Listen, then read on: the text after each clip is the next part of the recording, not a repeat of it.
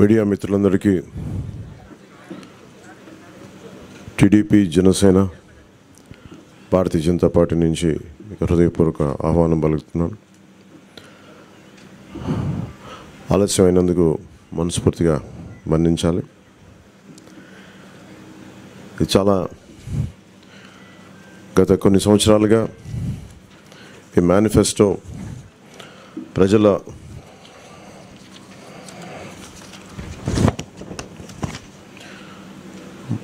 తెలుగుదేశం పార్టీకి జనసేనకి రెండు పార్టీలకి ముఖ్యంగా వచ్చిన representations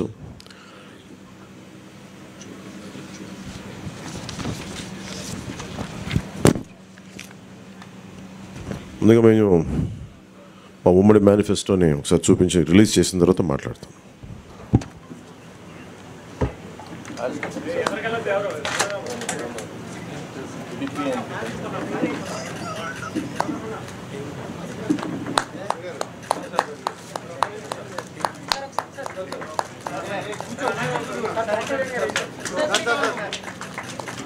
Sir sir sir sir sir ना मेरा सर पूछो ना पूछो वाला ना पूछो वाला ना मेरा कहीं पे क्या है पूछो पास करिए सर सर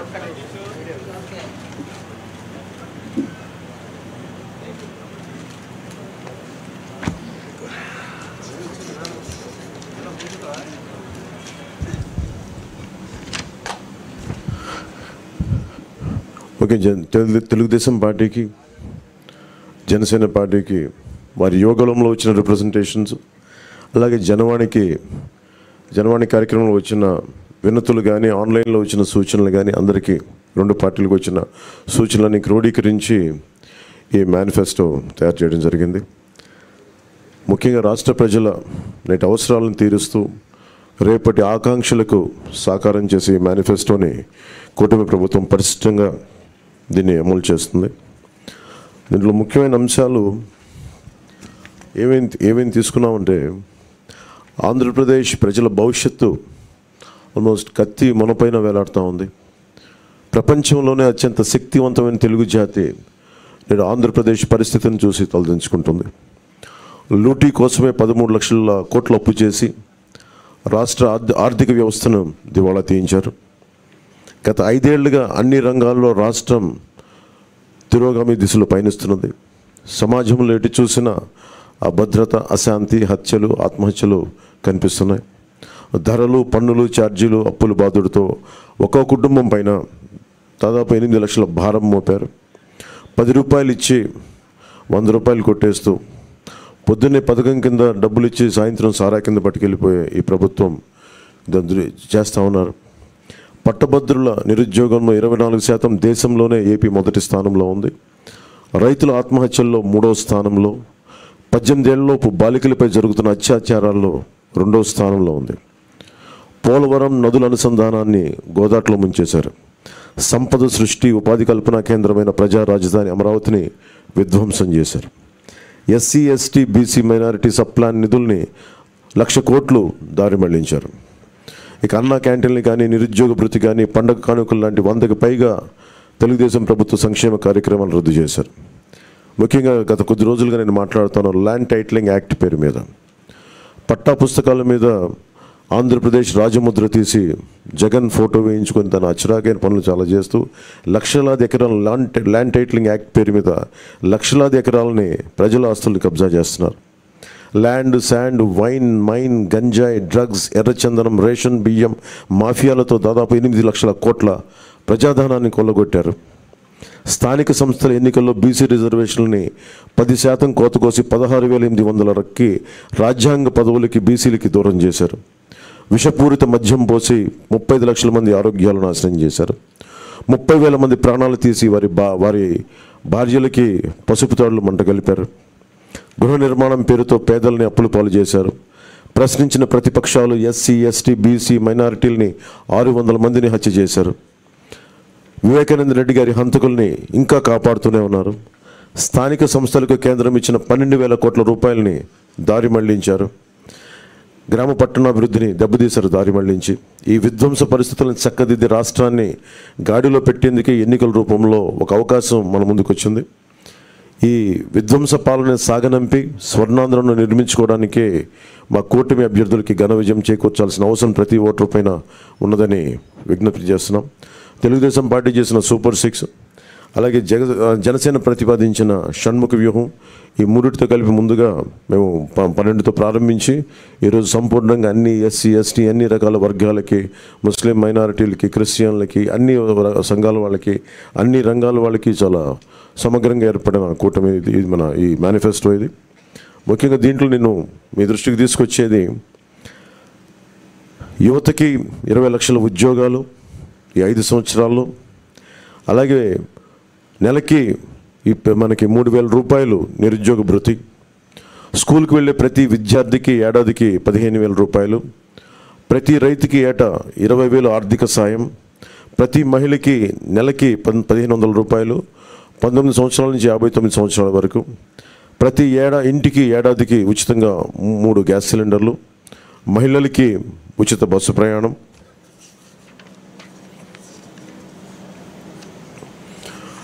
మత్స్యకారులకు సంబంధించి సముద్ర వేట విరామ సమయంలో మత్స్యకారులకు ఇరవై వేల రూపాయల ఆర్థిక సాయం జీవో టూ రెండు వేల పదిహేడుని రద్దు చేస్తాం. బోట్ల మరమ్మతులకు కానీ ఆధునిక కమ్యూనికేషన్లకు కానీ ఆర్థిక సాయం అందిస్తాం.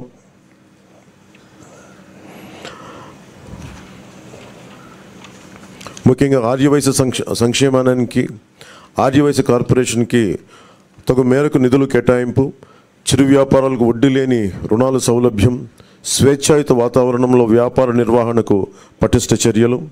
ముఖ్యంగా కన్యకా పరమేశ్వరి అమ్మవారి ఆత్మార్పణ దినోత్సవాన్ని అధికార కార్యక్రమంగా చేపడతాం.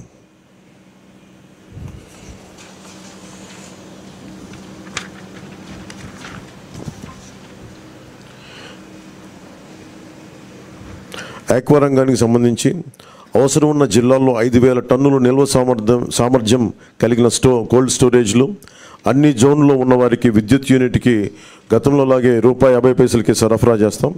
ట్రాన్స్ఫార్మర్ల ధర తగ్గిస్తాం. ఏవియేటర్లపై సబ్సిడీ అందిస్తాం. ఏ ఈ ఇసుక కోసం అయితే దోపిడీ చేసిందో జేపీ వెంచర్స్ దానికి ప్రజల నుంచి దాదాపు ముప్పై తొమ్మిది మంది పైగా భవన నిర్మాణ కార్మికులు చనిపోయారు. మేమందరం వారికి అండగా ఉన్నందుకు ఈ రోజున వారికి సామాన్యులకి ఇసుక బాట ఇసుక అందుబాటులో ఉండే విధంగా సమగ్రమైన ఇసుక విధానం.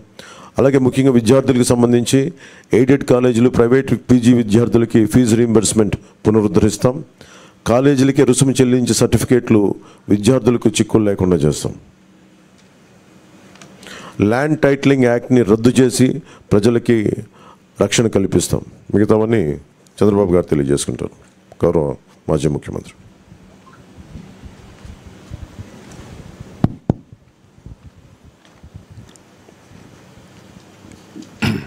గౌరవనీయులు చూడు కొద్దిగా వాళ్ళు.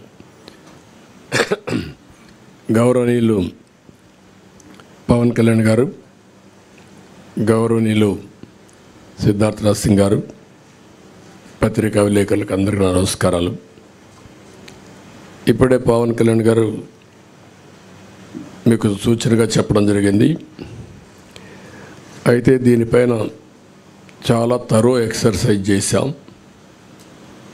ఒక పక్కన తెలుగుదేశం పార్టీ జనసేన ఇద్దరు కూడా కూర్చొని తరో ఎక్సర్సైజ్ చేసిన తర్వాత బీజేపీ సూచనలు కూడా కొంతవరకు తీసుకొని మేము ముందుకెళ్ళాం.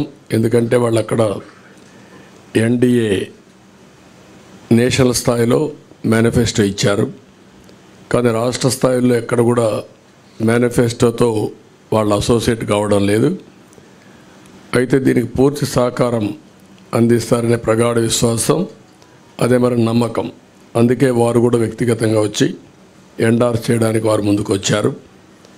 కాబట్టి కేంద్ర సహకారం మెండుగా ఉంటుంది పూర్తిగా ఉంటుంది. అదేవిధంగా ఈ యొక్క మేనిఫెస్టోను అమలు చేసే బాధ్యత జనసేన తెలుగుదేశం రెండు పార్టీలు తీసుకుంటాం. ఇక్కడికి వచ్చినప్పుడు పోయిన సంవత్సరమే మేము సూపర్ సిక్స్ తీసుకొచ్చాం. ఈ సూపర్ సిక్స్లో ఆరు మేము ప్రధానంగా పెట్టాం. అందులో కూడా మీరు చూస్తే యువత నిర్వీర్యం అయిపోయింది. నేను ఎన్నోసార్లు అన్ని పబ్లిక్ మీటింగ్ మేము ముగ్గురం కూడా అదే మాట్లాడుతూ వచ్చాం. మూడు రాజకీయ పార్టీలు కలిశాం. మా కలయిక ప్రజలు గెలవాలి రాష్ట్రం నిలదొక్కోవాలి మళ్ళా ప్రజల జీవితాలకు వెలుగు రావాలి. దీని మీదనే మూడు పార్టీలు కూడా ఒక మాటలో చెప్పాలంటే ఒక నేషనల్ పార్టీ అధికారంలో ఉండే పార్టీ ఇటీవల ప్రజల్లోకి ఎక్కువ తిరిగిన జనసేన నలభై సంవత్సరాలుగా ఉండే తెలుగుదేశం పార్టీ అందరం కూడా అడ్జస్ట్మెంట్ చేసుకుని ఈ రాష్ట్రాన్ని కాపాడుకోవాలి. మళ్ళీ తెలుగు జాతికి పూర్వ వైభవం రావాలనే ఏకైక ఆకాంక్షతో మేమందరం కలిసి ముందుకు వచ్చాం అందుకనే సూపర్ సిక్స్ మీరు చూసినప్పుడు ఒక ఆరు పాయింట్లని యువతకు ఇరవై లక్షల ఉద్యోగాలు మూడు వేల రూపాయల నిరుద్యోగ భృతి యువత నిర్వీర్యం అయిపోయింది. మళ్ళీ అలాంటి యువతకి కాన్ఫిడెన్స్ ఇవ్వాల్సిన అవసరం ఉంది ఉద్దేశంతో ఈ కార్యక్రమాన్ని తీసుకున్నాం. అదే మాదిరిగా భవిష్యత్ అంతా కూడా హ్యూమన్ రిసోర్స్ డెవలప్మెంట్ పైన ఆధారపడుతుంది. స్కూల్కి వెళ్ళే ప్రతి ఒక్క విద్యార్థికి పదహైదు వేల రూపాయలు తల్లికి వందనం కింద. ఇది కాకుండా ప్రతి ఒక్క మహిళకి పదహైదు వందల రూపాయలు నెలకి ఇవ్వడం. దీనివల్ల సంవత్సరానికి పద్దెనిమిది వేలు వస్తుంది. ఐదేళ్ళలో తొంభై వేల రూపాయలు ఈ ఒక్క కార్యక్రమం ద్వారా ప్రతి మహిళకు చేరే పరిస్థితి వస్తుంది. ప్రతి ఇంటికి ఏడాదికి మూడు గ్యాస్ సిలిండర్లు ధరలు పెరిగాయి. నిత్యావసర వస్తువుల ధరలు అయితే ఆకాశానంటే పరిస్థితి వచ్చింది. పేదవాళ్ళు గ్యాస్ కూడా ఉపయోగించే పరిస్థితులు లేరు కాబట్టి దీన్ని ఇవ్వడం జరిగింది. ఉచిత ప్రయాణ సౌకర్యం. దీనివల్ల మొబిలిటీ మహిళల్లో ఎక్కువ ఉంటుంది. ఉద్యోగాలు చేయాలన్నా వ్యాపారాలు చేయాలన్నా బయట పోయి రావాలన్నా చాలా సులభంగా ఉంటుంది. అందుకే ఈ కార్యక్రమం తీసుకొచ్చాం. దీనికి తోడుగా షణ్ముగ వ్యూహం. ఇది యాడ్ చేశాం. అందులో కూడా చూస్తే మీరు చూస్తే ఇంటింటికి త్రాగు రక్షిత మంచినీరు కొళ్ళాయి ద్వారా నీళ్ళు ఇవ్వడం. రెండోది రాష్ట్ర వ్యాప్తంగా స్కిల్ సెన్సస్. ఇది first of its kind in the country ఇంతవరకు కులగణన చేశాం. రిలీజియన్గా ఏ కమ్యూనిటీ ఎంత ఉన్నారు ఏ రిలీజియన్ ఎంతమంది ఉంటారు ఇలా చేశాం. ఫస్ట్ టైం స్కిల్ గణన చేయడం అంటే స్కిల్ ఏవి ఏ ఎవరికి ఎలాంటి స్కిల్స్ ఉన్నాయి ఎలాంటి స్కిల్స్ సమాజంలో మెరుగైన అవకాశాలు ఉంటాయి ప్రపంచంలో ఎలాంటి డెవలప్మెంట్ జరుగుతాయి ఎలాంటి స్కిల్స్ మన యువతకు కానీ అందరికి కానీ ఇవ్వగలిగితే ప్రొడక్టివిటీ పెరుగుతుంది అనే దానిపైన మెయిన్గా ఫోకస్ చేయడం కోసం దీన్ని పెట్టుకోవడం జరిగింది. ఇంకొక పక్క చిన్న మధ్య తరహా పరిశ్రమలకి అంకుర సంస్థలకి ప్రాజెక్ట్ వ్యయంలో గరిష్టంగా పది లక్షల రూపాయల సబ్సిడీ ఇవ్వడం. ఇది కాకుండా ఇంకొక పక్కన చూస్తే ఎన్డీఏ ప్రభుత్వం తెచ్చిన పది శాతం ఈడబ్ల్యూఎస్ రిజర్వేషన్స్ అమలు చేస్తాం. అది economically middle class all OCs ఎవరైతే ఉన్నారో వాళ్ళల్లో టెన్ పర్సెంట్ ఈడబ్ల్యూఎస్ రిజర్వేషన్స్ పెట్టి అందులో కూడా ఎకనామికలీ బ్యాక్వర్డ్కి రిజర్వ్ చేసి విద్యా ఉద్యోగాల్లో ప్రాధాన్యత ఇస్తాం. ప్రజాదాని అమరావతిని మళ్ళా కొనసాగించి ఉపాధి ఉద్యోగ అవకాశాలన్నీ కల్పిస్తాం. ఇది కాకుండా ఇంకొక పక్కన మీరు చూస్తే యువత కోసం చాలా స్పష్టమైన ఒక మేనిఫెస్టో తీసుకొస్తున్నాం. దీంట్లో మీరు చూసినప్పుడు మెగా డిఎస్సి ఫస్ట్ సిగ్నేచర్ కింద పెడతాం. ప్రతి సంవత్సరం జాబ్ క్యాలెండర్ ఉంటుంది. ఉత్తరాంధ్ర కోస్తా రాయలసీమ ఉద్యోగ కల్పనకి ఏ అవకాశాలు ఉన్నాయో అన్నీ ఉపయోగించుకుంటాం ఎంఎస్ఎంఈకి ఎక్కువ ప్రోత్సాహం ఇస్తాం. పరిశ్రమలకు అనుకూలంగా పాలసీలు తీసుకొస్తాం. మళ్ళీ పెద్ద ఎత్తున పెట్టుబడులు తీసుకొచ్చి రాష్ట్రానికి ఉపాధి అవకాశాలు కల్పించే బాధ్యత తీసుకుంటాం. యువత ఎప్పుడు సాలిడ్గా ఫ్యూచరిస్టిక్గా ఉండడం కోసం క్రీడల్ని ప్రోత్సహిస్తాం. డిజిటల్ లైబ్రరీస్ని ఎక్కడికక్కడికి అందుబాటులో తీసుకొచ్చి ఉద్యోగ అవకాశాలే కాకుండా నాలెడ్జ్ అప్గ్రేడ్ చేసుకుంటూ ముందుకెళ్తారు. అదే సమయంలో బీసీ డిక్లరేషన్ బీసీ డిక్లరేషను మేము జైహో బీసీ పెట్టాం. బీసీ డిక్లరేషన్ తీసుకున్నాం. యాభై సంవత్సరాలకే నెలకు నాలుగు వేల రూపాయల పెన్ పెన్షన్ బీసీలకు ఇస్తాం. బీసీలకు వాళ్ళ రక్షణ కోసం ప్రత్యేకమైన చట్టం ఒకటి తీసుకొస్తాం. బీసీ సబ్ ప్లాన్ ద్వారా ఐదేళ్ళలో లక్ష యాభై వేల కోట్లు ఖర్చు పెట్టి తద్వారా వారి యొక్క వృత్తిపరంగా చేతిపరంగా వాళ్ళకు పూర్తి సహకారం ఇచ్చి వాళ్ళ పైకి తీసుకొచ్చే కార్యక్రమాలు తీసుకుంటాం. అదే మరిగా స్థానిక సంస్థల్లో నామినేటెడ్ పోస్టుల్లో ముప్పై నాలుగు పర్సెంట్ రిజర్వేషన్స్ వల్ల రెస్టోర్ చేయడం నామినేషన్ల ప్రాధాన్యత ఇవ్వడం చట్టసభల్లో ముప్పై మూడు శాతం రిజర్వేషన్లు రావడానికి కేంద్రానికి రికమెండ్ చేస్తాం కేంద్రంతో సంప్రదిస్తాం ఇది జరిగే వరకు వారికి అండగా ఉంటాం.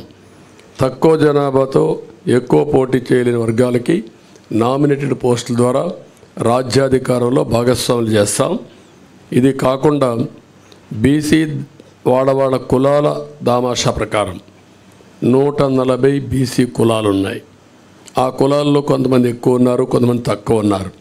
అందరి యొక్క జనాభా దామాషా వారి యొక్క ఎకనమిక్ కండిషన్ బట్టి వాళ్ళందరినీ కూడా ఎవాల్యుయేట్ చేస్తాం. దీని ప్రకారం కార్పొరేషన్లు పెట్టి అన్ని కార్పొరేషన్లకు నిధులిచ్చి తద్వారా వాళ్ళని ఆర్థికంగా పైకి తేవడం కోసం కృషి చేస్తాం. స్వయం ఉపాధికి ప్రతి సంవత్సరం ఒక పదివేల కోట్లు ఖర్చు పెడతాం బీసీల కోసం ఇంకొక పక్క ఆదరణ కింద ఒక ఐదు వేల కోట్లు ఖర్చు పెట్టి ఆధునిక పనిముట్లు అప్పజెప్పి వాళ్ళ యొక్క వృత్తిపరంగా చేసుకునే పనుల్లో ఆదాయాన్ని పెంచడం కోసం ముందుకు పోతాం. ఒక్కొక్క కులంలో వారసత్వంగా కొన్ని వృత్తులు వస్తూ ఉంటాయి. ఈరోజు యాదవులు ఉన్నారు. యాదవులు ఎప్పుడు కూడా పాడి పరిశ్రమ పైన ఎక్కువ ఆధారపడతారు. అందుకే ఈసారి పాడే పరిశ్రమకు కూడా ఇన్సూరెన్స్ పెట్టి అన్ని ఆవులు కానీ గేదెలు కానీ వీటికన్నిటికి ఇన్సూరెన్స్ పెట్టి ఎక్కువ రుణాలు ఇచ్చి ఆధునీకరణలో వాళ్ళని కూడా ఇన్వాల్వ్ చేసి వాళ్ళని డెవలప్ చేస్తాం. అదే మరి కురబ కులస్తులను చూస్తే గొర్రెల పెంపకంలో కూడా వాళ్ళు ఉంటారు. ఈరోజు అత్యాధునిక ప్రమాణాలతో మనం డెవలప్ చేసే అవకాశాలు ఉన్నాయి. అలాంటి పరిస్థితుల్లో వారికి ఇది వృత్తిపరంగా వారిని ఎంపవర్ చేస్తాం. చేనేత పరిశ్రమకి ఎవరైతే బాగా ఇబ్బందుల్లో ఉన్నారో అలాంటి వారందరికీ పవర్ లూమ్స్కి ఒక ఐదు వందల యూనిట్లు హ్యాండ్లూమ్కి రెండు వందల యూనిట్లు ఉచితంగా కరెంట్ ఇస్తాం. ఇరవై నాలుగు వేల కోట్ ఇరవై నాలుగు వేల రూపాయలు సంవత్సరానికి వాళ్ళకి ఇచ్చే బాధ్యత తీసుకుంటాం. ప్రతి కుటుంబానికి కూడా ఒక ఇరవై నాలుగు వేల రూపాయలు ఇచ్చి వాళ్ళని ఆదుకుంటాం. ఇవి కాకుండా ఈరోజు నాయి బ్రాహ్మణులకి వాళ్ళ గౌరవ వేతనం దేవాలయాల్లో పనిచేసే అందరికీ ఇరవై ఐదు వేల రూపాయలు గౌరవ వేతనం ఇప్పిస్తాం. షాపులకు రెండు వందల యూనిట్లు కరెంటు ఉచితంగా ఇస్తాం.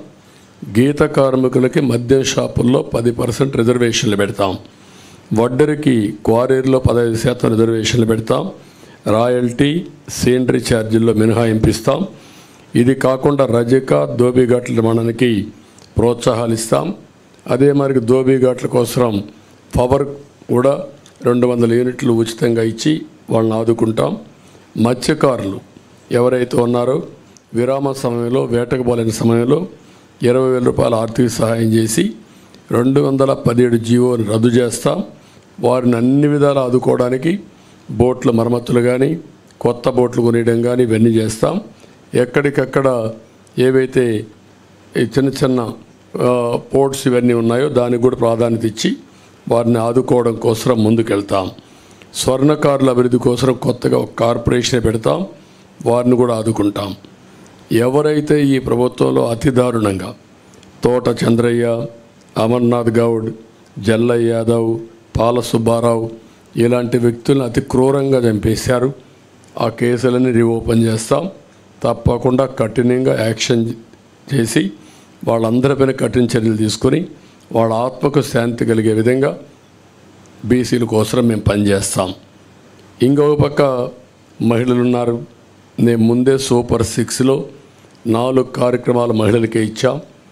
అదే సమయంలో డాక్రా సంఘాలకి ఎంఫోర్ చేయడం కోసం పది లక్షల రూపాయల వరకు రుణాలు ఇచ్చి వడ్డీ లేని రుణాలు ఇచ్చి వాళ్ళని ఆదుకుంటాం. అదే సమయంలో ఈరోజు జరిగే విధానం చూస్తే పది రూపాయలు ఇచ్చి వంద రూపాయలు అలాగే ఇస్తున్నారు. వెయ్యి రూపాయలు దోచేస్తున్నారు. ఆ విధానానికి స్వస్తి చెప్పి సంపద సృష్టించడం తెలిసిన పార్టీలు ఇవి. అటు కేంద్రంలో ఉండే ఎన్డీఏ సంపద సృష్టిస్తూ ఉంది. అదేవిధంగా పవన్ కళ్యాణ్ గారు కూడా సంపద సృష్టించి ఆ సంపద పేదవాళ్ళకి చేర్చాలనేది ఆయన ఆలోచన. ఈ మూడు పార్టీలు కూడా కలిసి సంపద సృష్టిస్తాం ఆదాయాన్ని పెంచుతాం పెంచిన ఆదాయాన్ని మళ్ళీ పేద ప్రజలకు అందజేస్తాం. అదే సమయంలో హ్యాండ్ హోల్డింగ్ చేసి మనం ఇచ్చిన డబ్బులతో ఎక్కువ ఆదాయాన్ని సంపాదించుకునే మార్గం కూడా చూపిస్తాం. మా సిద్ధాంతం చేపనివ్వడమే కాదు చేపలు పట్టేది కూడా నేర్పించాలని దానికి కావలసినటువంటి స్కిల్స్ కానీ వసతులు కానీ ఏర్పాటు చేసి వారిని పైకి తేవాలనేది మా ఆలోచన. దానికోసమే ఈరోజు పీ ఫోర్ ఉంది. చాలామంది గుర్తుపెట్టుకోవాలి. ఈరోజు ఎకనామిక్ రిఫార్మ్స్లో పీ త్రీ అంటే పబ్లిక్ ప్రైవేట్ పార్ట్నర్షిప్తో రోడ్లు వచ్చాయి ఎయిర్పోర్ట్లు వచ్చాయి పోర్ట్లు వచ్చాయి టెలికమ్యూనికేషన్ వచ్చింది పవర్ వచ్చింది దీనివల్ల సంపద వచ్చింది పోటీ పెరిగింది సమర్థత పెరిగింది. అదే సమయంలో ఈరోజు మా ఆలోచన భవిష్యత్తులో పీ ఫోర్ అంటే public people public private people's partnership. ఈరోజు పది పర్సెంట్ పై బాగా ఆర్థికంగా పైకి వచ్చిన వాళ్ళు కనీసం ఒక ఇరవై మంది కిందన ఆర్థికంగా వెనకబడిన వాళ్ళని పైకి తెచ్చే సామాజిక బాధ్యత తీసుకోవాల్సిన అవసరం ఉంది. ఇది జరగాలి. అందుకే ఏ పని చేసినా పేదవారి కోసం చేయాలనుకుంటున్నాం. దీనికి ప్రత్యేకమైన శ్రద్ధ పెట్టాం. పేదరిక నిర్మూలన అసాధ్యం కాదు. ఈ టెక్నాలజీ పెద్ద హ్యాండీగా ఉంది మనకు. నాలెడ్జ్ ఎకానమీ సాధ్యం. ఇది చేయడం కోసం అందుకే మేము తీసుకుని కూడా మీరు చూస్తే కాంప్రహెన్సివ్గా తీసుకున్నాం. ఇక్కడ కూడా మీరు గుర్తుపెట్టుకోవాల్సింది టూ జీరో ఫోర్ సెవెన్ చాలామందికి అనుమానం ఉంది. ఎట్లా చేస్తారని చెప్పి మాట్లాడుతున్నారు మా క్రిటిక్స్ అందరూ. సంపద సృష్టించడం తెలిసిన పార్టీ తెలుగుదేశం పార్టీ. ఆ సంపద సృష్టి కూడా ఆటోమేటిక్గా ఏదైతే ఉందో ఒక ఎకో సిస్టమ్ క్రియేట్ చేస్తే డెస్ట్రాయ్ చేయకపోతే కంటిన్యూగా ముందుకు పోయే పరిస్థితి వస్తుంది. దానికి ఒక నిదర్శనం ఒక హైదరాబాద్ లేకుంటే ఐటీ రంగం అలాంటివన్నీ చేసి ముందుకెళ్తాం. అదే సమయంలో అంగన్వాడీ కార్యకర్తలను ఆదుకుంటాం. ఉద్యోగాలు చేసే మహిళలకు హాస్టల్ వసతి ఏర్పాటు చేసి వాళ్ళకి రక్షణగా నిలబడతాం. ఇంకొక పక్కన కొంతమంది గర్ల్స్ మధ్యలో చదువు ఆపేసి మళ్ళీ వాళ్ళు కంటిన్యూ చేయాలి అనే ఆలోచన ఉంది. అలాంటి వారికి కళలకు రెక్కలనే పథకం కింద ఇంట్రెస్ట్ ఫ్రీ లోన్. ఎంతైనా కానీ ఇచ్చి వాళ్ళని పైకి తీసుకొచ్చే బాధ్యత వాళ్ళు సెటిల్ అయిన తర్వాత ఆ డబ్బులు తిరిగి కట్టే బాధ్యత అది కూడా వడ్డీ లేకుండా కట్టే బాధ్యత తీసుకొస్తాం. పండుగ కానుకలు పెళ్ళి కానుకలు నీవు కొన్ని దీంట్లో పెట్టకపోయినా అన్న క్యాంటీన్ ఇవన్నీ కూడా పునరుద్ధిస్తాం. మళ్ళీ పేదవాళ్ళకు అండగా ఉంటాం. ఈ ప్రభుత్వంలో ఉద్యోగస్తులు చాలా నష్టపోయారు. వ్యవస్థ చిన్నాభిన్నమైపోయింది వ్యక్తులు కూడా ఆ ఉద్యోగాలను చేసే వాళ్ళందరూ వ్యవస్థలు డెస్ట్రాయ్ అయినాయి. వ్యవస్థలు చ- నిర్వీర్యమైపోయినాయి నిధులు లేకుండా ఒక పక్క భయపెట్టి ఒక పక్క అస్తవ్యస్తమైనటువంటి విధానాలు వీటన్నిలో దెబ్బతిన్నారు. రెండోది వాళ్ళు కూడా చాలా నిరాశ నిస్పృహల మధ్యలో ఉన్నారు. ఒక మాటలో చెప్పాలంటే సమాజం మొత్తం దెబ్బతిన్నప్పటికీ ఉద్యోగస్తులైతే నిర్వీర్యమైపోయారు వారు నమ్మకాన్ని కోల్పోయే పరిస్థితికి వచ్చారు. ప్రభుత్వంలో ఎప్పుడు ఉద్యోగస్తుల మొరేలు బాగుంటే వారే సంపద సృష్టించాలి వారే సేవలు అందించాలి వారి వల్ల కూడా ప్రగతి జరగాలి. మేము పాలిటీషియన్స్ పాలసీలు నిర్ణయిస్తాం. దాన్ని ఎగ్జిక్యూట్ చేసేది సమర్థవంతంగా ఉద్యోగస్తులు చేయాల్సిన అవసరం ఉంది. ఒక్క ఎగ్జాంపుల్ మీరు చూస్తే ఉపాధ్యాయులు ఎంత నిర్వీర్యమైపోయారంటే ఒకప్పుడు మోస్ట్ రెస్పెక్టెడ్ కమ్యూనిటీ ఉపాధ్యాయుడు. తల్లి తండ్రి తర్వాత గురువు తర్వాత దైవం. అలాంటి ఉపాధ్యాయుడి నిస్సహాయ స్థితి ఏం చెప్పుకోలేని పరిస్థితి. కడాన మద్యం షాపుల్లో కాపలాకు పెడితే అది కూడా నోరిప్ప చెప్పలే నోరిప్పి చెప్పలేని పరిస్థితి. చెప్పితే కేసులు పెట్టడం కనీసం వాళ్ళ రైట్స్ కోసం ఎప్పుడు కూడా ప్రజాస్వామ్యంలో ప్రజాస్వామ్య హక్కుల కోసం మాట్లాడే వ్యక్తులు ఇంటలెక్చువల్ కమ్యూనిటీ టీచర్స్ అలాంటి టీచర్స్ నోరిప్పలేని పరిస్థితి తీసుకొచ్చారు. ఇంకొక పక్కన మనం ఒకసారి చూస్తే వీళ్ళందరిలో పిఆర్సీ లేదు ప్రావిడెంట్ పిఎఫ్ లేదు సరెండర్ లీవులు లేవు లేకపోతే టీఏలు లేవు లేకపోతే ఏది కూడా లేకుండా ఇరవై వేలు ఇరవై ఐదు వేలు కోట్ల రూపాయలు బకాయిలు పెట్టి అడిగితే వాళ్ళ మీద కేసులు పెట్టడం వాళ్ళ సంఘ నాయకులను అరెస్టులు చేయడం కావాలని కేసులు పెట్టి ఏసీబీ కేసులు పెట్టి వేధించడం ఇది ఒక ఆనవాయితీగా అయిపోయింది. అందుకని మళ్ళా వాళ్ళ యొక్క ఆత్మ విశ్వాసాన్ని పెంచుతాం ఆత్మ గౌరవాన్ని పెంచుతాం. ఆ విధంగా పీఆర్సీ ఇవ్వడం కానీ పీఆర్సీ వచ్చే లోపల ఇంటీరియం రిలీఫ్ కూడా ఇస్తాం. ఇంటీరియం రిలీఫ్ ఇచ్చి వాళ్ళకి ఇవ్వాల్సిన డబ్బులు కూడా ఫేజ్డ్గా అవన్నీ కూడా క్లియర్ చేసి ప్రతి నెల జీతాలు వచ్చే పరిస్థితికి మళ్ళీ తీసుకొస్తాం. ఆర్థిక వ్యవస్థని మెరుగుపరుస్తాం.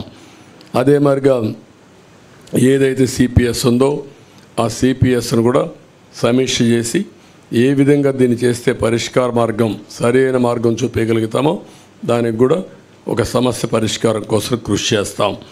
ఇది కాకుండా తక్కువ జీతాలు పొందే అవుట్సోర్సింగ్ కానీ లేకపోతే అంగన్వాడీ కానీ లేకపోతే మీకు పోలీస్ వ్యవస్థల్లో ఉండే వీళ్ళందరికీ కానీ వాళ్ళందరినీ ఏ విధంగా చేయాలి అవన్నీ చేస్తాం. వాలంటీర్స్కి కూడా ఒక పదివేల రూపాయలు వేతనం పెంచుతాం పాడి పరిశ్రమ స్వయం ఉపాధికి ఉపయోగపడుతుంది. దీన్ని కూడా పెద్ద ఎత్తున అభివృద్ధి చేస్తాం.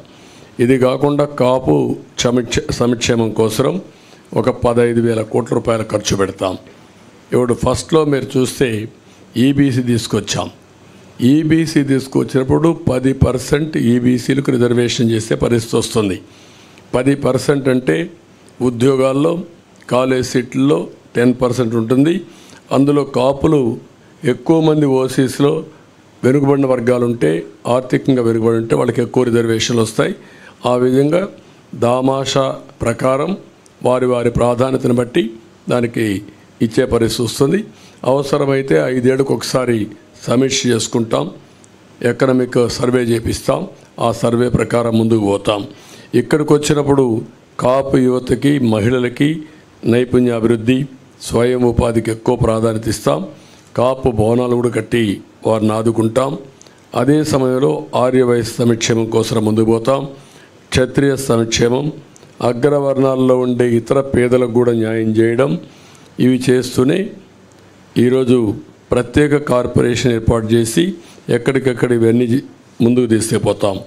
ఇంకొక పక్క పెన్షన్ కూడా మొన్నే అనౌన్స్ చేశాం. నాలుగు వేల రూపాయలు పెన్షన్ ఇస్తున్నాం. అది కూడా ఏప్రిల్ నుంచి ఇస్తాం. పెంచిన పింఛను ఏప్రిల్ నుంచి ఇచ్చి ఇంకొక పక్కన వికలాంగులకి దివ్యాంగులకి ఆరు వేల రూపాయలు ఇస్తాం.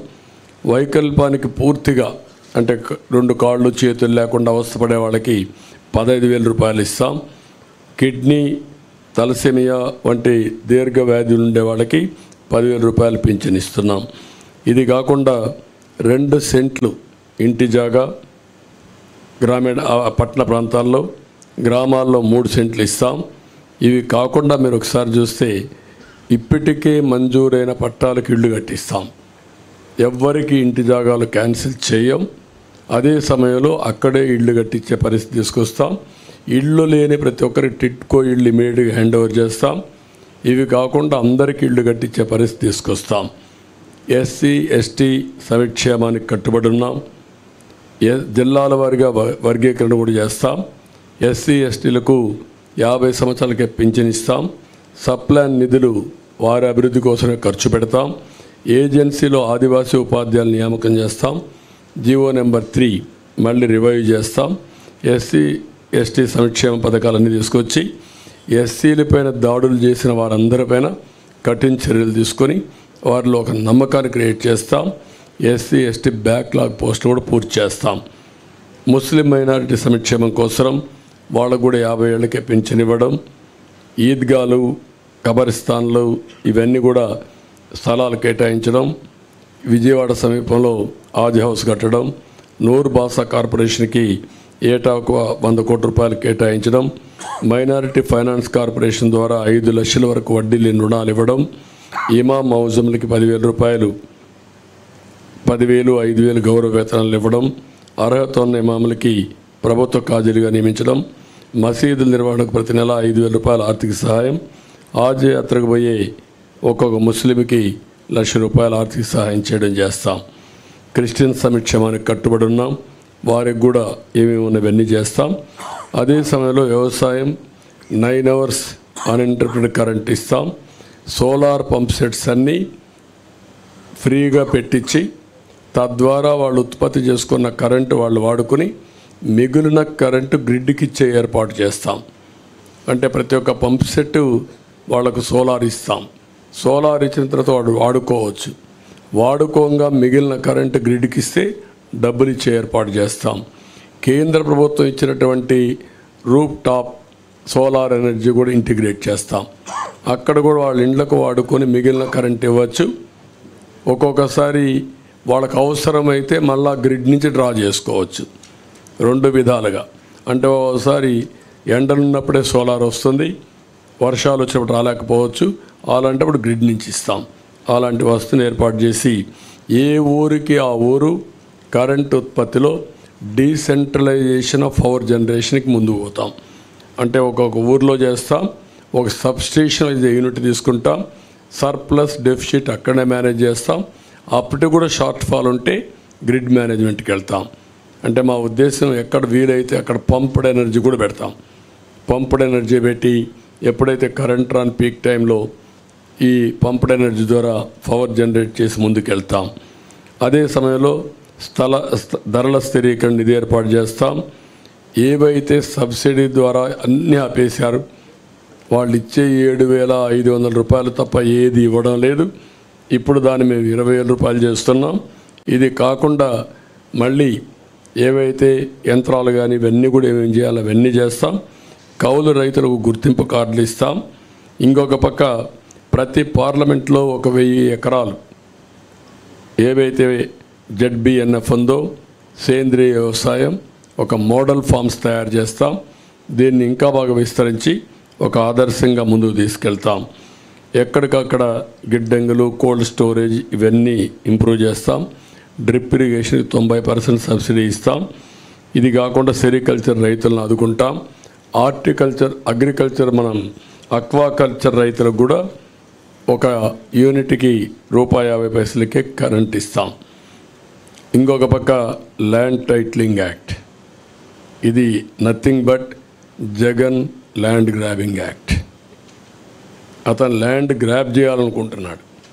అందుకే ఇలాంటి నల్ల చట్టాలు తీసుకొస్తున్నాడు. దీని పేరే జగన్ ల్యాండ్ గ్రాబింగ్ యాక్ట్ సొంతం కోసం పెట్టుకొని ఇలాంటి వ్యక్తులందరినీ ప్రోత్సహించి ప్రభుత్వ ఆస్తులపైన కత్తిపెట్టి బెదిరించి భయభ్రాంతులు చేసి ఎవరైనా మాట్లాడినా లేకపోతే వాళ్ళకు అవసరం ఉన్నా లాగేసుకునే పరిస్థితి వస్తారు. ఇప్పటికే ఈ రాష్ట్రంలో నలభై ఏళ్ళు యాభై ఏళ్ళు సంపాదించిన ఆస్తులు మెడ మీద కత్తిపెట్టి రాయించేసుకున్నారు. అది ఒక పోర్టు కావచ్చు.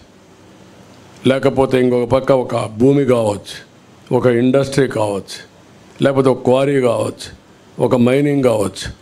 ఏదైనా సరే మీరు చూస్తే మొత్తం రాగించుకున్నారు. ఎందుకు పోర్ట్లు చేతులు మారాయని అడుగుతున్నా? ఎందుకు సెజ్లు చేతులు మారాయని అడుగుతున్నా? ఎందుకు స్టూడియోస్ చేతులు మారాయని అడుగుతున్నా? ఎందుకు ఆస్తులు బలవంతంగా చేతులు మారాయని అడుగుతున్నా? దర్ ఇస్ నో ఆన్సర్ ప్రతి ఒక్కరూ ఏ స్థాయికి వచ్చారంటే మా ప్రాణాలు ఉంటే చాలు. మేము బ్రతికితే చాలు. ప్రాణాలుంటే వేరే ప్రాంతాలకు పోయి పది రూపాయలు సంపాదించుకుంటాం. ఇక్కడుండి మేము ప్రాణాలు పోగొట్టుకోలేమనే ఉద్దేశంతో సరెండర్ చేసేసారు ముప్పై ఏళ్ళు నలభై ఏళ్ళు సంపాదించిన ఆస్తులవి. అలాంటి దుర్మార్గమైన కార్యక్రమాలు జరిగాయి. అవన్నీ కూడా నేను ఎగ్జాంపుల్ చెప్పమంటే అన్ని చెప్పడానికి సిద్ధంగా ఉన్నా. రేపు గవర్నమెంట్ వస్తానే. ఒకటి కాదు ఎందుకు మారాయో నేను అడుగుతున్నా. కాకినాడ సెజ్ ఎందుకు మారింది? కాకినాడ పోర్ట్ ఏంటి? గంగవరం పోర్ట్ అన్నీ. ఒకటి కాదు మైనింగ్. ఈరోజు సిలికా మైనింగ్ మన గూడూరు దగ్గర ఉన్నాయి. ఒక్క ఓనర్ ఉన్నాడు ఒరిజినల్ ఓనర్ దాంట్లో? రాష్ట్రంలో క్వారీస్ ఉన్నాయి. కనీసం చిన్న చిన్న క్వారీస్ కూడా మొత్తం లాగేశారు. ఒక్క క్వారీ ఎవరి దగ్గర లేదు. Granite galaxy granite. ఎందుకు చేతులు మరి ఎవడు తీసుకున్నాడు? ఎవరైనా బరి తెగించి నువ్వు చంపేసినా పర్వాలేదు అని అడ్డం తిరిగిన వాళ్ళు క్యాన్సిల్ చేసి హెవీ ఫైన్స్ వేసి ఆపరేట్ చేయకుండా చేసి సమయం వచ్చినప్పుడు చూసుకుంటాను గమ్మునుండే పరిస్థితికి వచ్చారు. ఈరోజు మీరు చూశారు శాండ్ విషయంలో. సుప్రీంకోర్టు మేము ఎన్ని ఆదేశాలు ఇచ్చినా మీరు యాక్షన్ చేయడం లేదు కాబట్టి ఇమ్మేండ్లు పండి ఎక్కడ కూడా ఇసుక తవ్వడానికి వీలు లేదు. ఇమ్మీడియట్గా మాకు కౌంటర్ ఫైల్ చేయమని గవర్నమెంట్కి ఇక్కడ డిపార్ట్మెంట్కి ఆదేశాలు ఇచ్చే పరిస్థితి వచ్చింది. ఎన్నిసార్లు కామెంట్ చేశారు హైకోర్టు. ఎన్నిసార్లు కామెంట్ చేశారు సుప్రీంకోర్టు ఎన్జిటి ఎంత స్పష్టమైన ఆదేశాలు ఇచ్చింది? అంటే కోర్టులు అంటే లెక్కలేదు రెగ్యులేటరీ ఏజెన్సీస్ అంటే లెక్కలేదు ఇష్టానుసారంగా చేసే పరిస్థితికి వచ్చారు. అందుకే మేము వస్తానే జగన్ ల్యాండ్ గ్రాబింగ్ యాక్ట్ని రద్దు చేస్తాం. ఇది ఆయన కోసం పెట్టుకున్న ల్యాండ్ గ్రాబింగ్ యాక్ట్ ఇది. నిన్న అడిగే అడిగారు భాస్కర్ రెడ్డి అనే వ్యక్తి. పులివెందల్లో జగన్మోహన్ రెడ్డి సతీమణిని అడిగారు. ఏమడిగారు? మా నాన్న మా తాత ఇచ్చిన భూమి పైన మీ ఫోటో ఎందుకు పెట్టుకున్నారు? మీ ఆయన ఫోటో ఎందుకు పెట్టుకున్నారు? అడిగారు. రాజముద్ర పడవలసింది ఎక్కడ? ఇలాంటి ఫోటో వేస్తే ఎవరు సహిస్తారని అడుగుతున్నా. What is the answer? నువ్వు అంటున్నావు కదా నన్ను మెచ్చారని సమాధానం చెప్పు. నువ్వు ఇచ్చావా ఈ ఆస్తి? మీ తాత ఇచ్చాడు ఈ ఆస్తి. నీ సాక్షి పేపర్ నుంచి సంపాదించి ఇచ్చారా? మీ భారతీయ సిమెంట్ నుంచి ఒక బస్తా ఉచి- ఉచితంగా ఇచ్చావా? కాబట్టి ఇవన్నీ కూడా మనం గుర్తుపెట్టుకోవాల్సింది. ప్రజలు మాటలాడలేని పరిస్థితి నిస్సహాయ స్థితికి నెట్టేసి భయభ్రాంతులు చేసి పోలీసులు పెట్టుకొని ఐ హ్యాండెడ్గా మాట్లాడితే అరెస్టులు చేసి అరెస్ట్ చేసిన తర్వాత వాళ్ళు పోలీస్ టార్చర్ చేసి ఇలాంటి దుర్మార్గమైన పనులు చేశారు కాబట్టి దీనిపైన ఇప్పుడు అన్నీ అయిపోయినాయి. ఇప్పుడు కడాన ప్రైవేట్ ఆస్తులపైన కూడా పెట్టారు. ఇప్పుడు చాలామంది రాష్ట్రం వదిలిపెట్టి వెళ్ళిపోతున్నారు. నిన్న మీరు చూశారు ఒక అమ్మాయి ఆరుద్ర.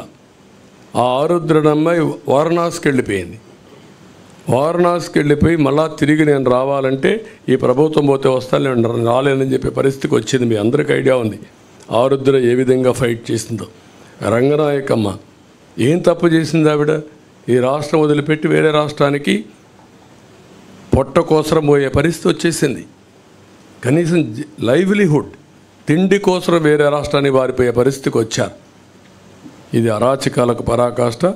ఇప్పుడు ఫైనల్గా ఈ ల్యాండ్ టైటిలింగ్ యాక్ట్ పేరుతో జగన్ గ్రాబింగ్ యాక్ట్ తీసుకొచ్చారు. సాగునీటి ప్రాజెక్టులు అన్నిటికల్లా చాలా పెద్ద సమస్య ఉంది. ఈరోజు గుక్కడి నీళ్ళు లేవు తాగడానికి నీళ్ళు లేవు సాగునీరు లేదు. నీళ్ళన్నీ మిస్మేనేజ్మెంట్ అయినాయి సముద్రంలోకి వెళ్ళిపోయినాయి. ప్రాజెక్టులు ఏది పూర్తి కాలేదు. ఇరిగేషన్ మేనేజ్మెంట్ అధ్వాన స్థా- స్థాయిలో ఉంది. కాలువలు దవ్వలేదు పంట కాలువలు లేవు డ్రైనేజెస్ లేవు వాటర్ మేనేజ్మెంట్ లేవు రిజర్వాయర్లు కొట్టుకోబోతున్నాయి ఇంతవరకు మీరు చూస్తే అన్నమయ్య ప్రాజెక్ట్ కొట్టుకొని పోతే ఏం చేస్తారో చెప్పలేని నిస్సహాయ స్థితి గుండ్లకమ్మ ప్రాజెక్టు గేట్స్ మూడు సార్లు పరిస్థితి. పులిచింతల గేట్స్ కొట్టుకోబోయే పరిస్థితి. వాట్ ఈస్ ద రీజన్ కనీసం మెయింటెనెన్స్ లేదు. ఇలాంటివన్నీ ఉన్నాయి. అన్ని ఇరిగేషన్ ప్రాజెక్ట్స్ పూర్తి చేస్తాం. పోలవరం గోదావరి అయిపోయింది. పోలవరం పూర్తి చేస్తాం. నదులు అనుసంధానం చేస్తాం. అక్కడి నుంచి ఆల్ ప్రాజెక్ట్స్ ప్రాధాన్యత ఇచ్చి ముందుకు తీసుకెళ్తాం. అదే మరి కార్మికులకు రవాణా రంగం. ఇందులో కూడా మీరు చూస్తే ఆల్ డ్రైవర్స్ వాళ్ళని ఓనర్ చేసే విధంగా నాలుగు లక్షల రూపాయల వరకు సబ్సిడీ ఇచ్చి ఐదు పర్సెంట్ వడ్డీతో వాళ్ళకు రుణాలు ఇప్పించే బాధ్యత తీసుకుంటాం. అదే మరిగా డ్రైవర్స్ సాధికార సంస్థ పెట్టి వాళ్ళకు ప్రమాద బీమా హెల్త్ ఇన్సూరెన్స్ విద్యా రుణాలు వంటివి సంక్షేమ కార్యక్రమాలు అమలు చేస్తాం. బ్యాడ్జి కలిగిన ప్రతి ఆటో డ్రైవర్కి ట్యాక్సీ డ్రైవర్కి ఇవే లైసెన్స్ కలిగిన ప్రతి లారీ టిప్పర్ ఓనర్ టిప్పర్ డ్రైవర్కి పదహైదు వేల రూపాయలు సంవత్సరానికి ఆర్థిక సహాయం చేస్తాం all డ్రైవర్స్కి. GO number twenty one. ఇది ఫైన్లు భారం తగ్గించడానికి రద్దు చేసి మళ్ళీ ఫ్రెష్గా తీసుకొస్తాం. గ్రీన్ ట్యాక్స్ కూడా తగ్గిస్తాం. అసంఘటిత రంగ కార్మికుల కోసం చంద్రన్న బీమా మళ్ళీ మళ్ళా తీసుకొస్తాం. భవన నిర్మాణ బోర్డు పునరుద్ధరిస్తాం. ముఠా కార్మిక సంక్షేమానికి ప్రత్యేకమైన బోర్డు కూడా తీసుకొస్తాం. మళ్ళీ ఇన్సూరెన్స్ చంద్రన్న బీమా పథకాన్ని తీసుకొచ్చి సహజ మరణానికి ఐదు లక్షలు యాక్సిడెంట్ జరిపోతే పది లక్షల రూపాయలు ఆర్థిక సహాయం చేస్తాం. ఫస్ట్ టైం హెల్త్ ఇన్సూరెన్స్ తీసుకొస్తున్నాం. ప్రతి ఒక్క కుటుంబానికి ఇరవై ఐదు లక్షల రూపాయలు హెల్త్ ఇన్సూరెన్స్ చేస్తాం. ఇరవై ఐదు లక్షల రూపాయలు ఇన్సూరెన్స్ ఇప్పిస్తాం ప్రతి ఒక్కరిది డిజిటల్ హెల్త్ కార్డ్స్ ఎస్టాబ్లిష్ చేస్తాం. ప్రతి ఒక్క మండలంలో జనరిక్ మెడికల్ షాప్ ఒకటి పెడతాం. అవి పెట్టినప్పుడు చాలా కాస్ట్ ఎఫెక్టివ్గా ఉంటుంది. అవి కూడా పెట్టి అందరికి అందుబాటులో పెడతాం. బీపీ షుగర్ వంటి నాన్ కమ్యూనికబుల్ డిసీజెస్ ఉండే వాళ్ళందరికీ ఉచితంగా జనరిక్ మెడిసిన్స్ని సప్లై చేస్తాం. విద్యుత్ ఛార్జీలు నియంత్రణ చేస్తాం. మళ్ళా కట్టడి చేస్తాం అవినీతి అరికడతాం సమర్థత పెంచుతాం. ఇంకొక పక్క చెత్త పన్ను ఇలాంటివన్నీ కూడా రద్దు చేస్తాం. ఇంటి పన్నులు కూడా ఏతుబద్ధత ఉండాలి. ఇవన్నీ కూడా ఎక్కడికక్కడ సమీక్ష చేస్తాం. పెట్రోల్ డీజిల్ కూడా ధరలు నియంత్రణ చేస్తాం. మద్యం ధరల్ని నియంత్రణ చేయడమే కాకుండా విషతపు విషపూరిత బ్రాండ్లు ఏవైతే ఉన్నాయో అవన్నీ రద్దు చేసి సమగ్రమైన ఎంక్వైరీ చేసి తద్వారా వీడు చేసిన తప్పుడు పనులను ఎస్టాబ్లిష్ చేసి ఎవరైతే కల్పరేట్స్ ఉన్నారో వాళ్ళు పనిష్ చేసి మళ్ళీ ఈ రాష్ట్రంలో ఇలాంటి స్పూరియస్ లిక్కర్ లేకుండా చేసే బాధ్యత తీసుకుంటాం. అన్నా క్యాంటీన్లు ఏర్పాటు చేస్తాం. ఇంకొక పక్కన రేషన్ పంపిణీ విధానం కూడా సమీక్ష చేస్తాం. Fees reimbursement aided colleges private fees విద్యార్థులకు ఫీజు ఇప్పిస్తాం. కాలేజీలకే రుసుము చెల్లించి మళ్ళీ సర్టిఫికెట్ రాకుండా పోవడం ఎగ్జామ్స్ రాకుండా పోవడం ఇలాంటి సమస్యలు లేకుండా చేస్తాం. ఉచిత ఇసుక విధానాన్ని తీసుకొస్తాం. దానికి సమగ్ర పాలసీ తీసుకొస్తాం. పగడ్బందీగా కన్స్ట్రక్షన్ యాక్టివిటీ జరిగే విధంగా కార్యక్రమం తీసుకొస్తాం. విద్య కేజీ టు పీజీ సిలబస్ అంతా కూడా రివ్యూ చేస్తాం. రాష్ట్రంలో అనేక స్కూళ్ళు రెండు నూట పదిహేడు జీవో వల్ల మూతపడిపోయినాయి. అవన్నీ ఏం చేయాలో చేస్తాం. విదేశ విద్యని మళ్ళీ ప్రారంభిస్తాం మళ్ళీ అందరికి వర్తిస్తాం. వంద రోజుల్లో గంజాయ్. అదే మరిగా ఏదైతే డ్రగ్స్ ఈ రెండు కంట్రోల్ చేస్తాం. ఐరన్ హ్యాండ్తో డీల్ చేస్తాం. ఉక్కు పదంతో అణిచివేస్తాం. ఎట్టే పరిస్థితుల్లో ఈ రాష్ట్రంలో డ్రగ్స్ ఉండడానికి వీల్లేదు గంజాయి ఉండడానికి వీల్లేదు. ఐదేళ్ళలో ఒక్కసారి కూడా సమీక్ష చేయనటువంటి బాధ్యత లేని ముఖ్యమంత్రి ఊరూరా నిత్యావసర మంచినీళ్ళు దొరకలేదు కానీ గంజాయి దొరికే పరిస్థితి వస్తూ ఉంది. అదే సమయంలో అక్వాకల్చర్ని అభివృద్ధి చేస్తాం. సమగ్ర అభివృద్ధి. ఇవన్నీ జరగాలంటే సమగ్ర అభివృద్ధితో ముందుకు పోవాల్సిన అవసరం ఉంది. ఆ సమగ్ర అభివృద్ధి చేస్తాం. మౌలిక సదుపాయాలు కూడా పూర్తిగా డెవలప్ చేస్తాం. గ్రామాల దగ్గర నుంచి రోడ్ ఇన్ఫ్రాస్ట్రక్చర్ ఉన్నది. బెస్ట్ ఇన్ఫ్రాస్ట్రక్చర్ తయారు చేస్తాం. గ్రామాల నుంచి మండల హెడ్ క్వార్టర్ కానీ మండలాల నుంచి జిల్లాలకు కానీ జిల్లాల నుంచి మార్కెట్ ప్లేసెస్కి కానీ పోర్ట్స్కి కానీ బెస్ట్ ఇన్ఫ్రాస్ట్రక్చర్ అది కూడా రోడ్ ఇన్ఫ్రాస్ట్రక్చర్ డెవలప్ చేస్తాం. దీనికి ఒక ప్రత్యేకమైన పాలసీ తీసుకొస్తాం. వాటర్ కూడా ప్రతి ఒక్క ఇంటికి చెడుగా కార్యక్రమం చేస్తాం. ప్రజా రాజధాని. ఈ రాజధానితోనే వెల్త్ క్రియేషన్ సాధ్యం. ఈ ప్రజా రాజధానిని మళ్ళీ పునరుద్ధరిస్తాం పూర్వ వైభవం తీసుకొస్తాం. అదే సమయంలో ఇది ప్రజల రాజధానే కాకుండా ప్రతి ఒక్కరికి ఉద్యోగ కల్పన చేసే విధంగా ఉండేట్టుగా రాష్ట్రానికి ఆదాయం పెంచే కేంద్రంగా తయారు చేసే బాధ్యత తీసుకుంటాం. పారిశ్రామికరణ తెలుగుదేశం మేము ముగ్గురం కలిసి దీనికి పర్ఫెక్ట్గా తీసుకెళ్తాం. పర్యాటకానికి చాలా స్కోప్ ఉంది ఉద్యోగాలు వస్తాయి. ఈ రాష్ట్రంలో అనువైన ప్రదేశాలు ఉన్నాయి ఇవన్నీ కూడా ఎక్స్ప్లోర్ చేసి ముందుకు పోతాం. అన్నింటికంటే ముఖ్యంగా ఫుడ్ ప్రాసెసింగ్కి ఎక్కువ ప్రాధాన్యత ఇస్తాం. ఈరోజు ఒకప్పుడు షుగర్ ఫ్యాక్టరీస్ బాగుండేటివి. ఇప్పుడు షుగర్ ఫ్యాక్టరీస్కి ఆదరణ లేదు. కానీ ఆల్టర్నేటివ్ ఫుడ్ ప్రాసెసింగ్ వస్తున్నాయి. అవన్నీ తీసుకొచ్చి రాయితీనిచ్చి ఎక్కడ పండే పంటల ఆధారంగా ఫుడ్ ప్రాసెసింగ్ తీసుకొచ్చి తద్వారా అక్కడ ఉపాధి కల్పిస్తాం. వాల్యూ అడిషన్ వస్తుంది రైతులు కూడా గిట్టుబాటు ధర వస్తాయి. ఇది కాకుండా అతి ముఖ్యమైన విషయం దేవాలయాలు బ్రాహ్మణుల సంక్షేమానికి కూడా మేము కట్టుబడి ఉన్నాం. ఇందులో మీరు చూస్తే హిందూ దేవాలయాలు సత్రాల పరిరక్షణకు కూడా ఒక ఎండోమెంట్ బోర్డు ఏర్పాటు చేస్తాం. ముస్లిం ప్రాపర్టీస్కి ఎట్లయితే వర్క్ బోర్డ్స్ పెడుతున్నామో అక్కడ కూడా చాలా స్ట్రిక్ట్గా ఉంటాం. హిందూ ప్రాపర్టీస్ కూడా ఎవరంటే వాళ్ళు కబ్జా చేయడానికి వీలు లేదు ఇవన్నీ తీసుకొస్తాం. అక్కడ కూడా మసీదులకు ఆర్థిక సహాయం కానీ ఇమాములకు ఇచ్చినట్టు ఇక్కడ కూడా మీరు ఒకసారి చూస్తే వార్షిక ఆదాయం యాభై వేల రూపాయలు ఉన్న ఆలయాల్లో పనిచేస్తున్న అర్చకులకి కనీస వేతనం పదహైదు వేల రూపాయలు పెంచుతున్నాం. ఇంకొక పక్కన యాభై వేల కంటే తక్కువ ఉంటే పదివేల రూపాయలు ఇవ్వాలని చెప్పి నిర్ణయించాం. వైదిక ఆగమ శాస్త్ర సంబంధ సంబంధాల విషయాల్లో ఆయా ఆలయాలే ఫైనల్. ఈరోజు చాలా వరకు ప్రార్థనాలయాల్లో కూడా ఇంటర్ఫేర్ అయ్యారు పాలకులు. ఇది చాలా దుర్మార్గమైన కార్యక్రమం. కడాన రాముడు తల నరికేస్తే మేము అక్కడికి పోతే మా మీద కేసులు పెట్టారు. ఇంతవరకు ఎవరా తల నరికేశారో చెప్పలేకపోయారు. అంటే దేవుణ్ణి కూడా కాపాడితే నేరం అయిపోయింది ఈ పాలనలో. అలాంటి నా నా మీద పెట్టిన ఇరవై నాలుగు కేసుల్లో ఇరవై మూడు కేసుల్లో రాముడు తల తీసేసిన కేసు కూడా ఒకటి. అంటే ఎంత దుర్మార్గంగా ఎంత దారుణంగా పోతున్నారో మీరు గుర్తుపెట్టుకోవాల్సిన అవసరం ఉంది. వీళ్ళు ఇంకా మాట్లాడే నైతిక హక్కు ఏముందో నాకైతే అర్థం కావడం లేదు. అదే మార్గం ఇంకొక పక్క బ్రాహ్మిన్స్ అందరికీ ప్రతి ఒక్క ట్రస్ట్లో ఒక మెంబర్గా పెడుతున్నాం. ఎందుకంటే వాళ్ళ మీద ఒక విశ్వాసం ఉంది. వాళ్ళ దేవాలయాల పునరుద్ధరణ కానీ దేవాలయాల్లో దీపాలు పెట్టి నైవేద్యం ఇచ్చేసేది కాబట్టి వాళ్ళకు ఆ గౌరవం పెంచాల్సిన అవసరం ఉంది. ఇంక్లూడింగ్ తిరుమల తిరుపతి దేవస్థానంతో సహా ప్రతి ఒక్క బోర్డులో వాళ్ళని ఒక మెంబర్గా పెడతాం. వాళ్ళ సాంప్రదాయాలు అవన్నీ కూడా వాళ్ళు పాటించే పరిస్థితి వస్తుంది. ఇంకొక పక్కన తిరుపతి ఒంటిమిట్ట లాంటి పుణ్యక్షేత్రాలని అక్కడుండే అవన్నీ కూడా మన ఆగమ శాస్త్రాలు కావచ్చు మన సాంప్రదాయాలు కావచ్చు అవన్నీ కూడా కాపాడడం కోసం మళ్ళీ ఇవన్నీ ముందుకు తీసుకెళ్తాం. Brahmin corporation Brahmin cooperative credit society కూడా బలోపేతం చేస్తాం. ఇంకొక పక్కన బ్రాహ్మిన్స్ అంతా అపరకర్మ చేసుకోవడానికి ప్రతి నియోజకవర్గంలో ఒక భవనం కావాలన్నారు. అవి కూడా కట్టిస్తాం. ఇవన్నీ చేసి బ్రాహ్మిన్స్ అంతా వేద విద్య అభ్యసించిన నిరుద్యోగులు కూడా ఉన్నారు.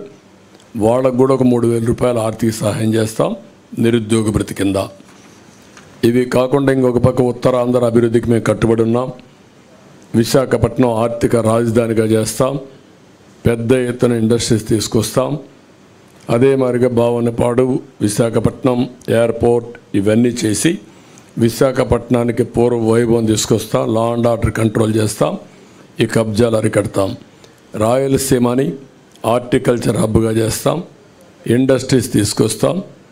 చెన్నై బెంగళూరు ఇండస్ట్రియల్ కారిడార్లో ఉండే ముఖ్యమైన నోట్స్ అని డెవలప్ చేసి రాయలసీమ అభివృద్ధిని రాయలసీమని ఆటోమొబైల్ హబ్గా తయారు చేస్తాం. ఇప్పటికే మీరు చూస్తే కియా మోటార్స్ వచ్చింది హీరో మోటార్స్ వచ్చింది అపోలో టైర్స్ వచ్చింది ఇలాంటి చాలా వచ్చాయి. ఆ ఎకో సిస్టమ్ కంటిన్యూ చేస్తాం. పంచాయతీరాజ్ డిక్లరేషన్. ఇక్కడ పంచాయతీరాజ్కి అధికారాలు పోయినాయి.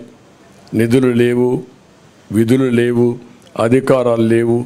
సెంట్రల్ గవర్నమెంట్ ఇచ్చిన నిధులు కూడా డైవర్ట్ చేశారు. అవన్నీ కంట్రోల్ చేస్తాం నియంత్రణ చేస్తాం. మళ్ళీ వాళ్ళకు పూర్తి అధికారాలు ఇచ్చి నిధులు విధులు అధికారాలు ఆందోళన కూడా పెంచి వాళ్ళ గౌరవాన్ని పెంచుతాం.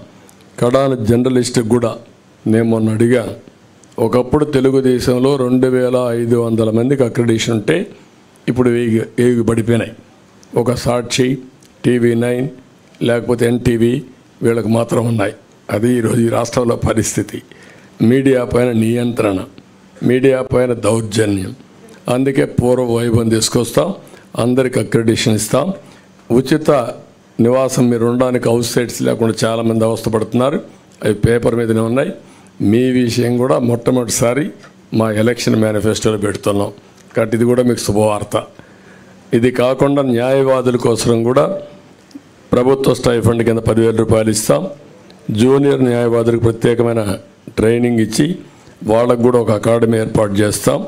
ఇది కూడా మీకు వాళ్ళకు కూడా ఒక ఫండ్ ఒకటి క్రియేట్ చేస్తాం. అగ్రిగోల్డ్ ఆస్తులు అమ్మి వారిని కూడా ఆదుకుంటాం. ఫైనల్గా గుడ్ గవర్నెన్స్ సమర్థవంతమైన పాలనతోనే ఇది సాధ్యం. ఈ గుడ్ గవర్నెన్స్లో ఒక భాగం లా అండ్ ఆర్డర్ ఎక్కడ లా అండ్ ఆర్డర్ పటిష్టంగా ఉంటే అక్కడ పీస్ ఉంటుంది. ఎక్కడ పీస్ ఉంటే అక్కడ ప్రాస్పరిటీ ఉంటుంది. దానికి కూడా మేము కట్టుబడి ఉన్నాం.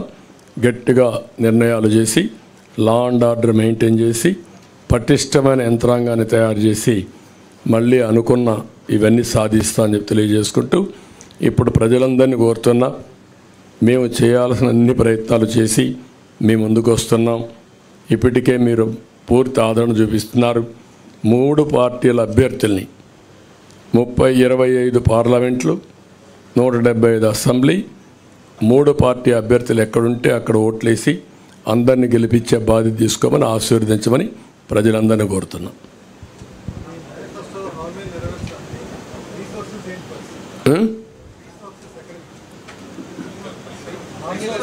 జగన్మోహన్ రెడ్డి ఎక్కడ తెచ్చాడు? సాక్షిని తెచ్చాడా? భారతిని తెచ్చాడా? మీకు ఒకటి గుర్తుపెట్టుకోవాలి. క్లియర్గా రెండు వేల పంతొమ్మిదిలో రిసోర్సెస్ ఉపయోగించడం సమర్థవంతంగా ఉపయోగించి వెల్త్ క్రియేట్ చేశాం. ఆ రోజు వచ్చిన ఇండస్ట్రీ కియా మోటార్స్ ఒక ఎగ్జాంపుల్ తీసుకోండి. ఐదేళ్ళలో గొల్లపల్లి రిజర్వాయర్ కట్టి కియా మోటార్ ఏర్పాటు చేసి ఫస్ట్ కారు నేనే మ్యానుఫ్యాక్చర్ అనేది తీసుకొచ్చాం. ఇప్పటికి పన్నెండు లక్షల కార్లు ఉత్పత్తి అయ్యింది ప్రపంచం మొత్తం తిరుగుతున్నాయి. దానివల్ల లాభాలేంటి? పదహైదు వేల కోట్ల రూపాయలు పెట్టుబడులు పెట్టారు. దగ్గర దగ్గర పన్నెండు వేలు పదహైదు వేల మంది పనిచేస్తారు డైరెక్ట్గా. దాని మీద ట్రక్ ఓనర్సు ట్రక్ డ్రైవర్సు అక్కడ ఉండే అకామిడేషను అన్నీ కలుపుకుంటే ఒక ముప్పై వేల కుటుంబాలు బాగుపడ్డాయి. దీనివల్ల ప్రభుత్వానికి ఆదాయం వస్తుంది ట్యాక్సెస్ ద్వారా. వెయ్యి కోట్లన వస్తుంది. ఆ డబ్బులతో మనం సంక్షేమ కార్యక్రమాలు ఇస్తున్నాం. మీరు ఒక్క ఎగ్జాంపుల్ చెప్పండి ఐదేళ్ళలో ఒక్క పరిశ్రమ వచ్చిందా? ఒక్క డెవలప్మెంట్ జరిగిందా? ఆదాయం ఎక్కడి నుంచి వస్తుంది? అందుకే బిగినింగ్లో వచ్చిన ఆదాయం ఐదేళ్ళకు ఎత్తిపోయే పరిస్థితికి వచ్చింది. ఇప్పుడు అప్పులు చేశారు. ఇప్పుడు ఏమంటున్నాడు? నేనేమీ చేయలేనని చేతులు తీసే పరిస్థితికి వచ్చాడు. ఎందుకు చేతులు తీశాడు రీజన్ ఈజ్ వెరీ సింపుల్. ఇప్పుడు ఏమీ చెయ్యలేమనే పరిస్థితికి వచ్చేసాడు అంటే ఎప్పుడు కూడా మీ ఖర్చులు మీ ఆదాయాన్ని రెండు ఉంటాయి అప్పులు కూడా ఉంటాయి. అప్పులు తెచ్చిన తర్వాత ఎగ్జాస్ట్ అయిపోయారు. నీకు అప్పిచ్చేవాళ్ళు లేడు ఇప్పుడు. అప్పిచ్చేవాళ్ళు లేరు. ఆదాయం వచ్చే మార్గాలు లేవు. ఆదాయ మార్గాలు మొత్తం క్లోజ్ చేసేసాం. అప్పులు ఇచ్చేవాళ్ళు చేతులెత్తే పరిస్థితికి వచ్చారు.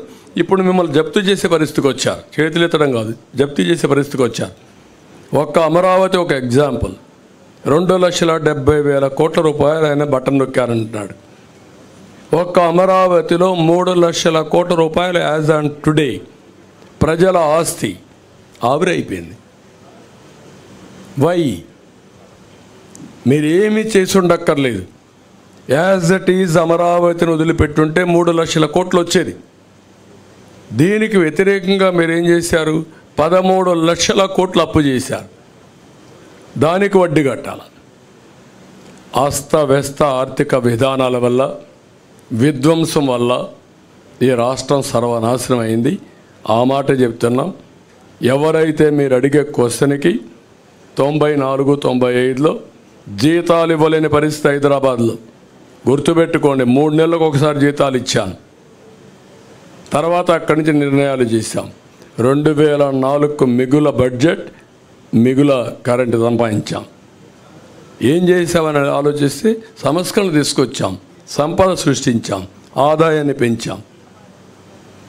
ఆ మాటే చెప్పాం మేము ఆదాయం పెంచే మార్గాలు మాకు తెలుసు. మళ్ళీ అభివృద్ధి చేసే మార్గాలు మాకు తెలుసు.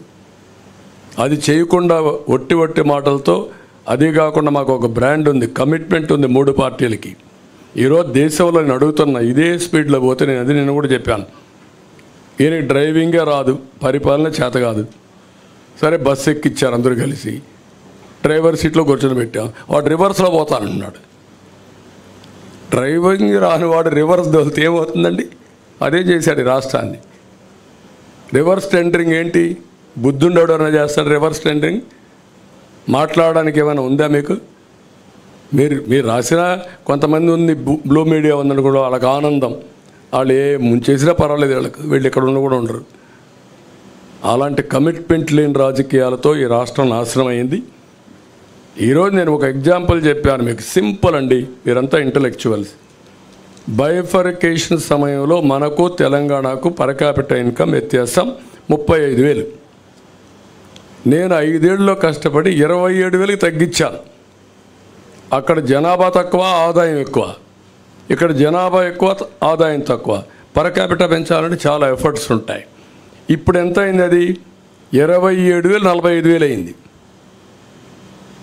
కెన్ యూ ఇమేజిన్ నీకు ఆదాయం ఎట్టొస్తుంది ఇక? ఆదాయమే లేకపోతే నీకు ప్రభుత్వానికి ఆదాయం ఎక్కడి నుంచి వస్తుంది? ఎవడు ఖర్చు పెడతాడు? కొనుగోలు శక్తి ఎక్కడ వచ్చింది? This is where I'm saying okay అమ్మా మీరు బయలుదేరండి. ఒక్క నిమిషం కన్క్లూడ్ చేద్దాం. మాకు ఇద్దరికి కూడా ప్రోగ్రాంలు ఉన్నాయి. ఆయన ఇప్పుడు పో పోలవరం వెళ్ళాలి. ఆయన తొందరలో నేను కూడా పిఠాపురం వెళ్ళాలి. ఇది దెందులూరు వెళ్ళాలి. తెనాలి రావాలి.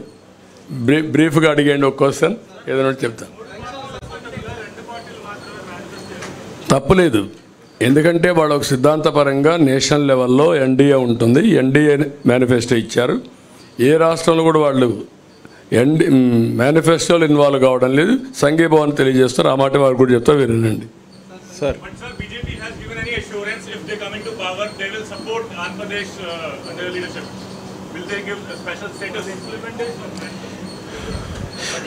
I think my support here from the BJP on the release of TDP and Janasena is in itself a message that this alliance is going to deliver for the people aspiration of the people of Andhra Pradesh and the national aspiration at the national level. So, double engine Sarkar will work here uh, uh, once the results are out on the 4th June and you will see how we work together. How many Lok Sabha seats you are expecting uh, from Andhra Pradesh? Sir, you, we have already said there is a 400 par, 400 plus. Andhra will contribute the maximum percentage which comes from any other states. What are the BJP assurances? What are the BJP assurances to Andhra Pradesh, specifically on this occasion of manifesto? My, my sitting here is in itself a support, sir. It is a B- uh, Janasena and TDP manifesto. I'm asking about you. Sir, sir, this is a, my manifesto is a national, don't get confused. I'm a national party. We released a national manifesto. There was no other party, regional party with us. We released it. It's a TDP and Jansena alliance and BJP alliance is there, but they have released their manifesto. And BJP is sitting in support. What more do you want? Sir, sir,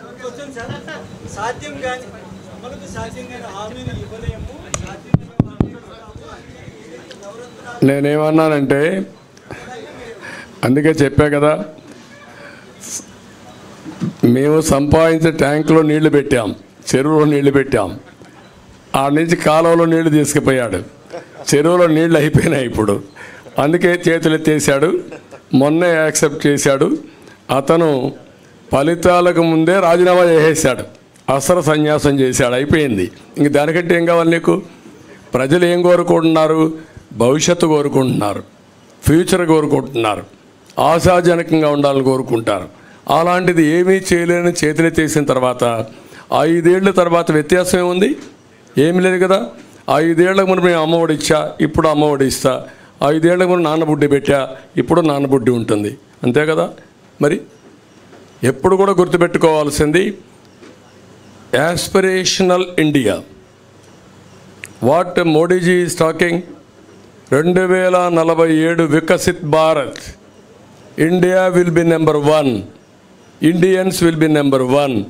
పేదరికం లేని దేశంగా ఉండాలనేది ప్రగాఢమైన నమ్మకం మాకు. అందుకే నా కోరిక ఏంటి? రెండు వేల నలభై ఏడుకి ఆయన వికసిత్ భారత్ చేస్తే వికసిత్ ఆంధ్రప్రదేశ్ ఉండాలి. తెలుగు భారత్. అదే సమయంలో తెలుగు వాళ్ళు నెంబర్ వన్గా ఉండాలి.